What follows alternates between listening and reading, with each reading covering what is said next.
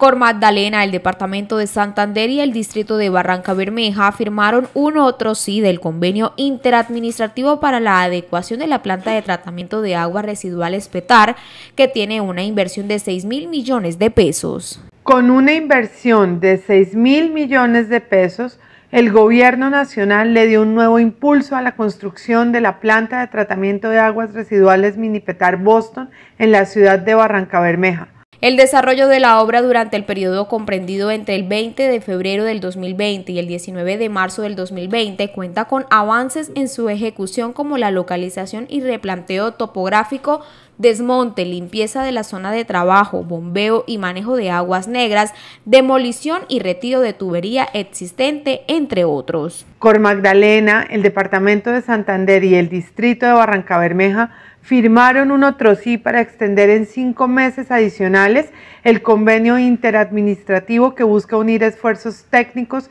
administrativos, financieros y operativos entre los firmantes para la construcción de dicha planta de tratamiento que permitirá recuperar las aguas servidas y lluvias en los barrios Danubio, Antonio Nariño y Boston. Con la firma del acta de inicio para adelantar la construcción de las obras, se procede a la realización del levantamiento topográfico del área, la revisión de las características en campo de las condiciones del sistema existen, los retos en canalización del agua residual y las caracterizaciones físico-químicas del afluente.